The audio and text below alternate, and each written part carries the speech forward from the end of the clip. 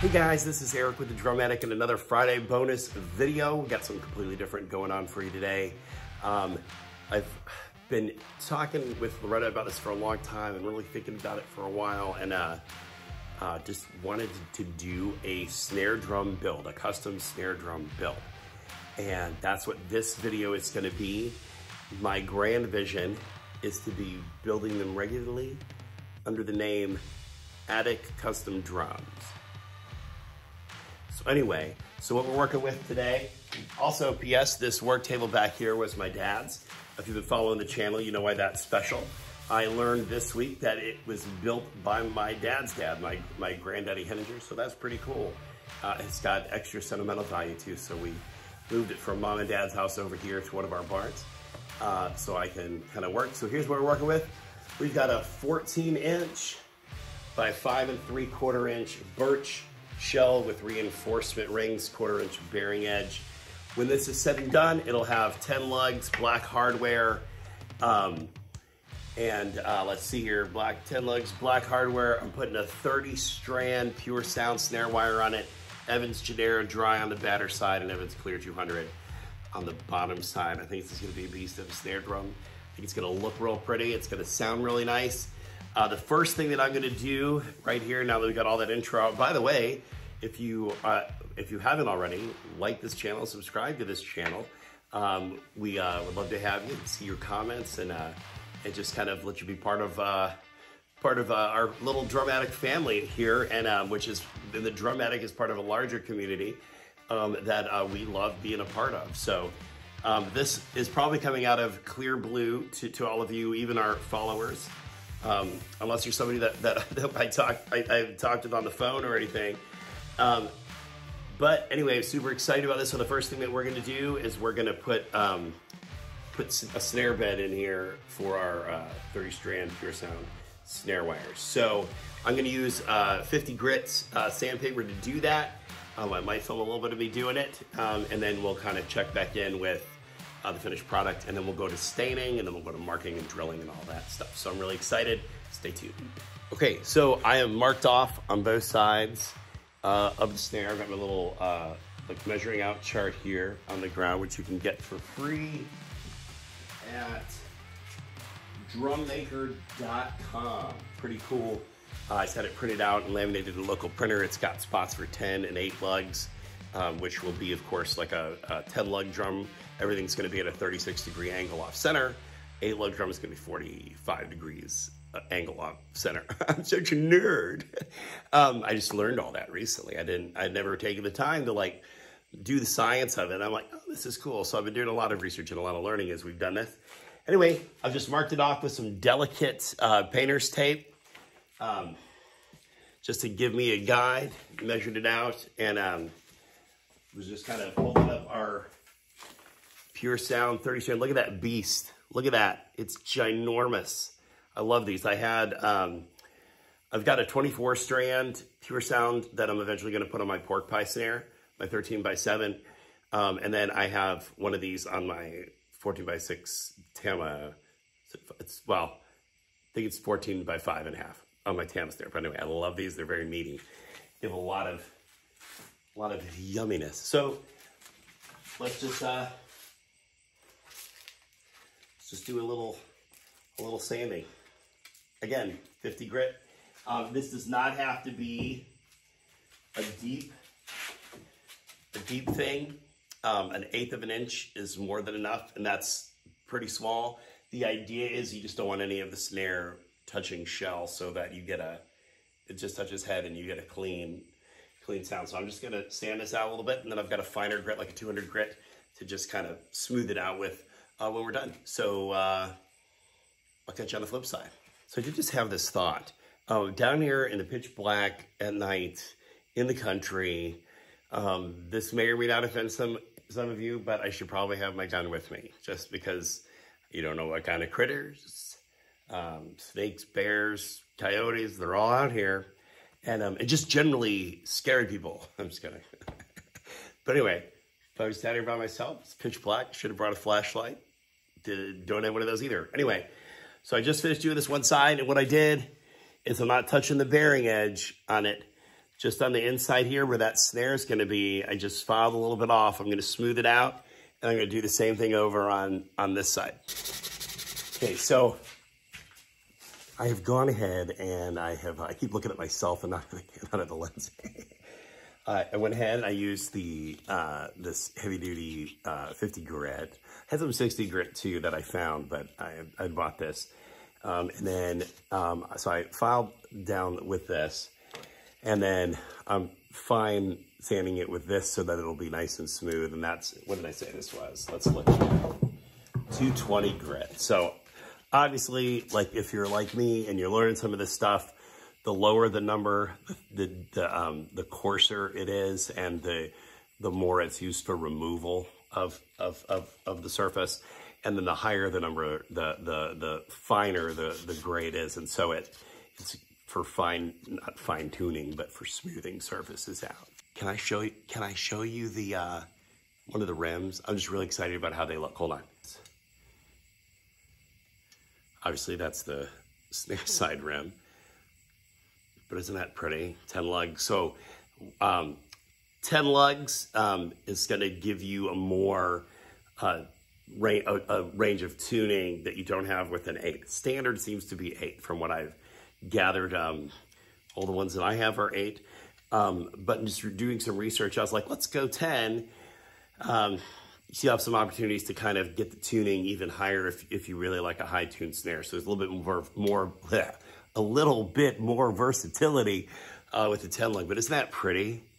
I'm really excited about that. So of course the lugs and the, um, the tension rods will all match uh, that, but I'm super excited about it. Hey, so I have got the, um, I've got three quarters of an inch uh, taped around. Again, I'm using this uh, delicate surface painter's tape. I thought that uh, that would be better than uh, regular because I kind of view this as a delicate surface. So, um, so I've done, I've done one side, we're gonna do the other side.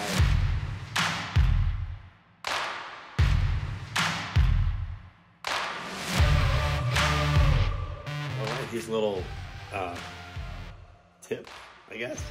Uh, you know, I don't like, when, you, when I tear the stuff, it always tears at an angle. Now look at my ears. I'm like hooching out with my, my pencil and all that stuff.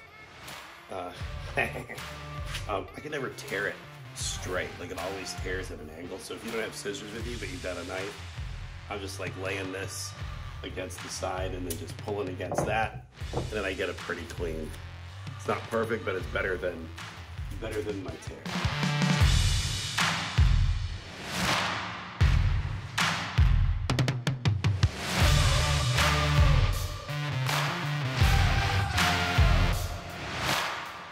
Okay, so before we uh, stain our, our snare drum shell here, I'm gonna use this uh, Minwax uh, pre-stained wood conditioner. Uh, the idea is to get a more even, less blotchy uh, look with the stain. Um, obviously, as it says in the description, Loretta and I are not sponsored by any of these companies that we may, um, of their products that we're using or anything. So um, anyway, but there, I'm gonna use some of that. And then I showed this to you in a previous video, but then we're gonna use our Minwaxed water-based uh, wood stain in this royal pine color, which I think is gonna be real pretty. So Let's do some pre-staining. So I'm applying this with a foam brush. Um, I just think that it, and you can see it goes on, goes on clear, and you kind of want to spread it out so that you don't have any clumps. No, so anyway, so we'll get this finished.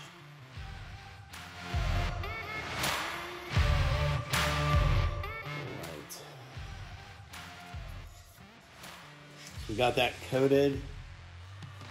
Uh, y'all, a little bit of this goes a long way. Like I hardly used anything out of this, out of this uh, cup here. Let me bring the camera back up. Yeah, boys. So um, at any rate, so we got that done. And uh, we'll let this dry and then we'll uh, start wiping uh, stain on it with a rag. Um, there's different ways to apply stain. Listen, this is the first time I've wood stained, so I've been doing a lot of research. So we're gonna experiment together You could do it with a synthetic brush. You could do it with a roller. Um, everything that I've read and, and, and seen says that putting it on with a rag is the best way to do it because when you apply it, you do have to take off um, the excess with a rag. So with the rag, you're kind of getting, getting the nice even distribution, spreading it out and kind of moving the excess around as you go and then also able to wipe it off with the other side of the rag. So that's what I'm going to attempt to do. So we'll see how it goes. All right, so we're gonna let this pre-stain dry. Okay, so I forgot something. So I'm going through with a rag, lint-free microfiber rag. Supposed to be lint-free. Anyway, and I'm just wiping the excess. Anything that didn't penetrate the wood, I'm just wiping up so that I don't have to uh, sand anything. um, because if it dries, um, and is, of course, I didn't like lay it on super thick so it wasn't drippy. So um, hopefully that will take care of what we needed to do. All right, now we're gonna let it dry and we can stain. Okay, so I let that pre-stain conditioner sit overnight. You don't have to let it sit overnight. The reason that I did was just a time thing. Um, and then I took a 220 grit sandpaper, a fine grade, and I just lightly went over the surface of the shell to, uh, to just kind of go ahead and remove any kind of, um, any place where maybe it had been a little uneven. So it's had good time to soak into the wood. So in theory here, we should get a nice even distribution of the stain. So we're gonna jump into that. I've got an old uh, t-shirt bed sheet that I'm gonna be applying this with.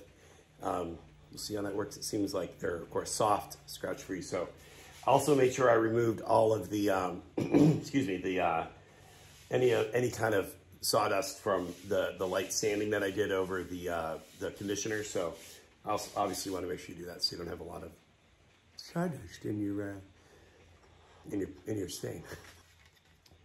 So as I'm going ahead and I'm wiping this on with this rag, I think that color's looking really pretty. Oh, yeah.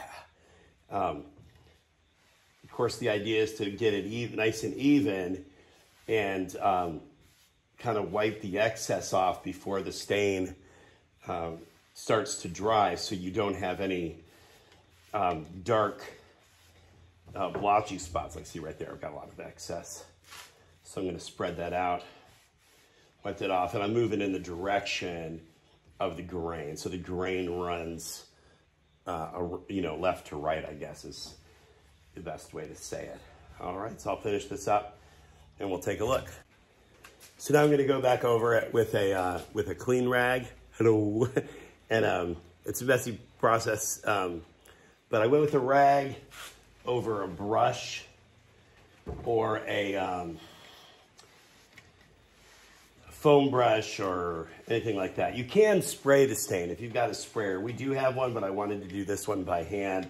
So now I'm just taking a completely clean rag of the same material and I'm just trying to remove any excess and I'm gonna make sure that kind of everything looks, looks as uniform as possible. Now, I wanted it to be a little lighter because I wanted to see uh, that wood grain in there.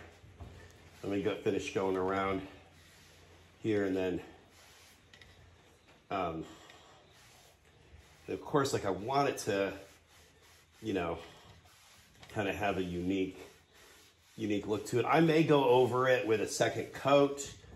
Um, I'm done. I see that maybe I could have applied more uh, I don't know though I'll I dig it I think it looks real pretty so we'll see.